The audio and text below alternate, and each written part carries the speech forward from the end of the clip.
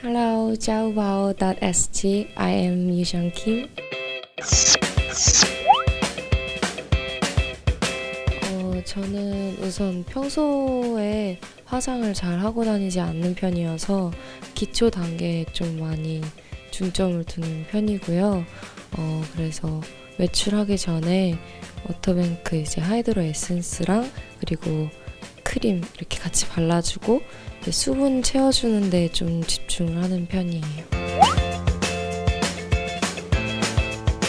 이제 화면에 나오는 배우분들이나 연예인분들은 메이크업을 이제 갖추고 나오잖아요. 근데 이제 저 같은 경우에는 평소에는 이제 피부를 좀 쉬게 해주려고 화장품을 많이 바르지 않고 기초 제품만 이렇게 발라서 수분을 채워주고 이렇게 보습 위주로 관리하는 편이에요. 근데 보통의 친구들은 어 이제 트러블이 나거나 이랬을 때 오히려 화장으로 좀 덮으려고 많이 하는 것 같아요. 근데 그렇다기보다는 좀 평소에 이제 수분 채워주고 보습 제품 발라주고 하면서 관리하는 게 좀 중요하지 않나 그런 저만의 팁이 그런 것 같아요.